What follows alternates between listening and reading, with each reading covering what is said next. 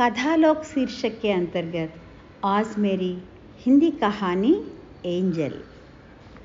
शाम को छः बजते ही ऑफ़िस से घर आकर हड़बड़ाते हुए अटैची में कपड़े डालने वाले अमन की ओर मैंने आश्चर्य से देखा। क्या बात है? इतने बिज़ी? मैं इतनी करीब हूँ, फिर भी मेरी ओर देखा तक नहीं। इतनी उपेक्षा? मैं चिढ़ गई। हाय डियर, नाराज़ हो क्या? चुप क्यों हो?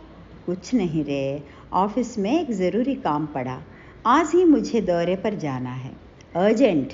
परसों रात तक वापस आ जाऊँगा। मुझे बाहों में लेते हुए उसने कहा। अचानक मुझे बहुत दुख हुआ।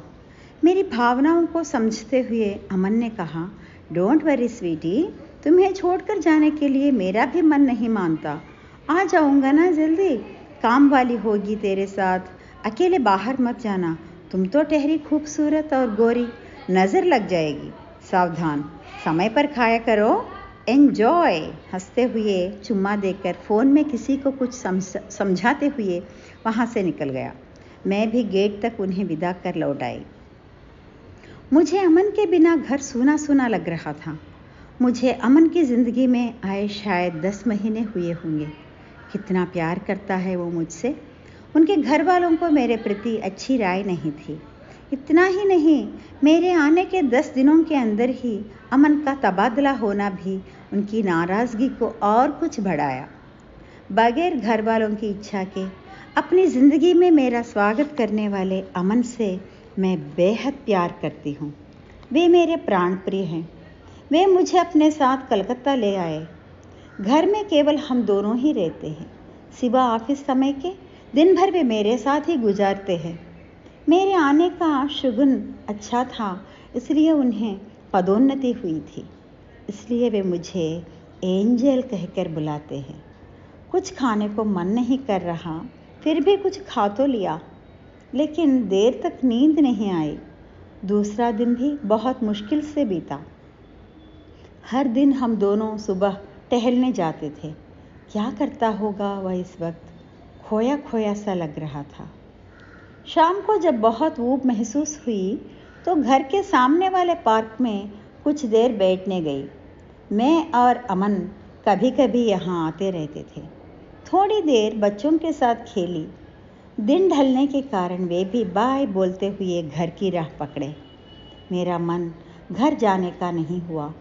दूर तक टहलने की इच्छा हुई और चलते चलते कम्युनिटी हॉल तक पहुँच गए। अंदर बच्चों का कार्यक्रम हो रहा था।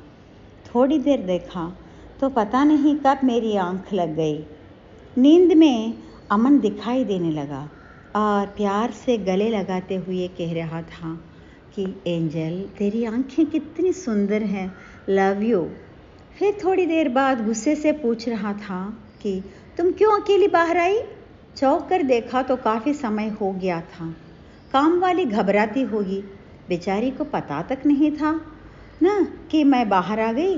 यदि अमन ने फ़ोन किया होगा तो? हे भगवान, मुझे जल्दी घर जाना चाहिए। सोचते ही लगभग दौड़ते हुए घर की ओर मुड़ी। रास्ता सुनसान था।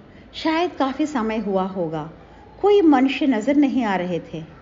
अमावस्या होने के कारण शायद अंधकार और भी गहरा हो गया था।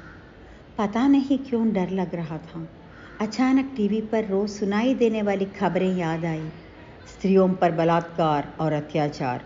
समाचार पत्र पढ़ते हुए अमन की बातें स्मरण हो आई कि आजकल समाज में महिलाओं को बिल्कुल सेफ्टी नहीं। रात को क्या? दिन में भी औरतें अकेले बाहर पैर नहीं रख पाती। कितना बुरा हाल। उन्होंने कई बार मुझे समझाया था कि बाहर अकेले मत जाओ। क्या मैंने सुना? अब कैसे घर पहुँचना है? ये क्या? इतनी दूर चलने पर भी घर क्यों नहीं आ रहा? सोचते हुए कदम बढ़ा रही थी। अचानक अचानक मेरे पीछे सूखे पत्तों पर किसी के पाँव के आहट ने मुझे बेचैन कर दिया। कोई मेरा पीछा कर रहा है? मैंने दिल थाम कर कनखियों से देखा, चार परछाइयाँ।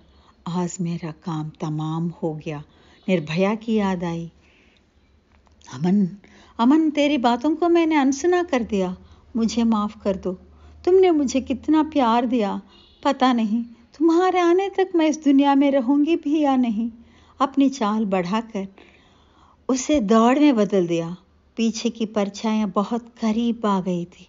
बहुत बहुत बहुत करीब। अब मुझमें ताकत नहीं। मेरा काम खत्म। सर चकराने लगा। आँखें बंद हो गई और मैं ढेर हो गई।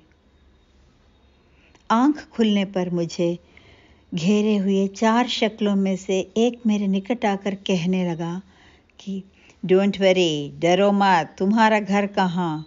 बताओ तो सही, हम सावधानी से तुम्हें घर पहुँच जाएँगे। ये बातें सुनकर जब मैंने हैरानी से उनकी ओर देखा तो शायद उन्हें कुछ समझ में आ गया। देखो बेटी, हम तेरी मदद करने आए हैं, तुम्हारे साथ अत्याचार नहीं करेंगे और तुम्हारा शील भंग भी नहीं करें, क्योंकि हम मनुष्य थोड़े ही हैं, हम तो ठहरे कुत्ते। विश्वास पात्रता के साथ हमारी एक नीति भी तो होती है, कहते हुए घर तक छोड़कर चले गए।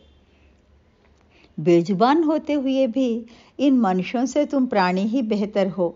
अमन के मुँह से अक्सर निकलने वाली बातें याद आई। मेरी जाति के संस्कार ने मुझे मुग्ध कर दिया। हे भगवान, हमारे कुत्तों को हमेशा ऐसे ही बुद्धिमान बनकर इतने ही अच्छे से रहने दो। प्रार्थना करते हुए जैसे ही अंदर कदम रखने लगी तो ए एंजल, कहाँ गई थी? बिना बताए। आजा, जल्दी खाना खा। काम वाले ने प्यार से झड़क दिया। मेज़ पर के फोटोग्राफ में मुझे सीने से लगाकर मुस्कुराते हुए अमन को देखकर मैंने प्यार से पूंछ हिलाई। सुना है ना? मेरी कहानी एंजल।